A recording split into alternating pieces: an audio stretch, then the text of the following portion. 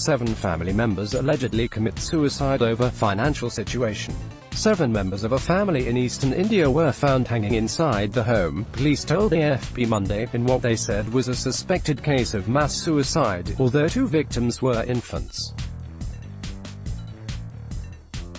The family were living in Ranchi, the capital of Jharkhand state, and the dead included two women and three men alongside the two children. Initial investigations point to suicide. We have also recovered suicide notes pointing to the family's financial situation. Anish Gupta, senior superintendent of Ranchi police told AFP.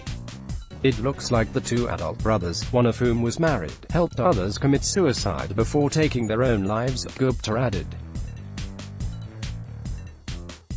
Ranchi police say that there are no signs of a break-in or an outsider's presence at the house, and the handwritten notes mention distress and financial hardships faced by the family. The incident comes after 11 members of a family in the capital New Delhi made national headlines earlier this month after they were found dead inside the home.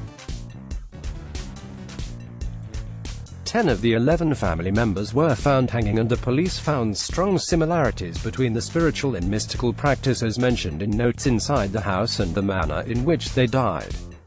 AFP, like this. Like loading.